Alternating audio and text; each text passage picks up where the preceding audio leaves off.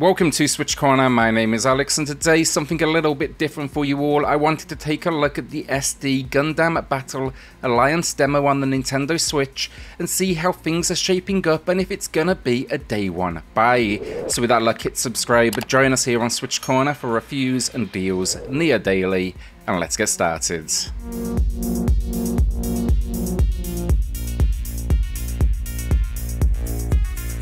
So the demo, it starts to introduce us to the story of this world. It's a unique concept. Now, I'm not huge on Gundam knowledge, honestly, but here we've been suckered into a false world known as G Universe.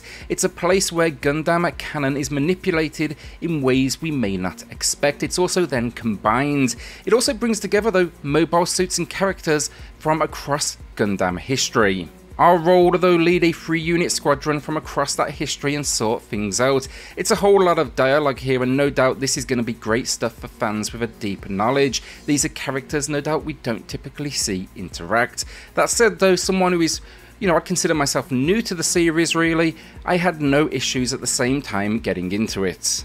The only issue I've had so far with the story, honestly, it's in its delivery. Now, there's cutscenes and dialogue exchanges between missions, that is fine, but during missions as well, we get like a non-stop flow of conversation as well, and I actually struggled to keep up when the action was, you know, getting going. If there's a lot going on on screen, it's also going to be asking you to read subtitles at the same time, and I definitely found that a little bit challenging.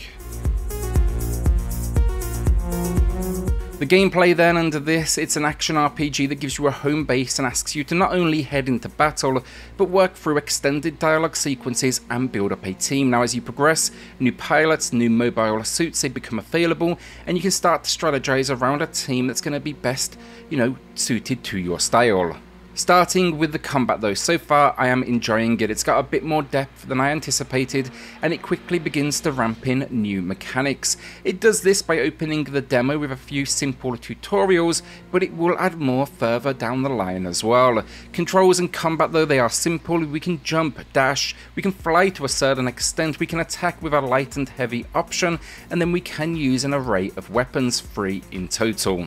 We also get then a special attack and a chain breaker. These can deliver some epic levels of damage. Alongside this then expect to find the ability to order partners to a basic extent with their specials. You can repair yourself, you can revive partners that have fallen in battle, and you can lock on to enemies. All attacks or special movement then it comes at the use of a stamina meter, though I'd call it pretty reasonable in regards to its, you know, depletion speeds. I do quickly want to point out as well, I always appreciate this in the options, you can reconfigure the control scheme as you please, always going to be a fantastic option. In the demo though, you'll be facing two mission types. That's going to be break missions as well as true missions. So far it's basically using the same location twice to advance the story. The break mission is history essentially jumbled up. And then true mission, it's the real offense and you're re-registering it as canon to this world. It's a unique idea, but it almost identifies my main concern from a gameplay perspective this far. The missions are the same loop, that's the issue this far. I've faced six so far and every one has been this loop of walk a few feet, beat down some suits and repeat until a boss appears. I'm hoping when we see the full release there's a little more variety in here because there's not really a huge amount to do in this world outside of experiment with your team setup and find a few destructible crates. What I do like though, it's the RPG elements. We level up our pilot, we level up our suits, and then we can upgrade and equip parts as well. The first part available to me, for example, Auto Guard, and that's about as useful as they come if you're not in an attack pattern. You know, we'll demonstrate basically our ability at some patience before lashing out. These skills, they are attached to character levels, and so far, it's been at levels 5, 10, and 15. Upgrade wise, each mobile suit then gets a level and we can work through HP, boost, melee and ranged attacks using what is the in-game currency that we will be collecting. We can also achieve these levels much quicker if we make use of the item store where we can sell materials and parts. The only other areas to gameplay then that I've seen this far from the demo, we occasionally choose dialogue responses. There's a partner page which shows us pilots unlocked and details our level and friendship, the latter being, it seems, dictated by taking them into battle. We have a library of essentially tips, cutscenes, and music that we can play back, and then we will be able to play online at release with up to two friends and locally as well. I'd actually love to see some sort of PvP in here as well. When it comes to this demo finally, progress will be carried over should you pick up the full game, but only to a certain extent. That's going to be units, pilots, and partner pilots, they max out at level 5. Partner pilot friendship, it maxes out at 3.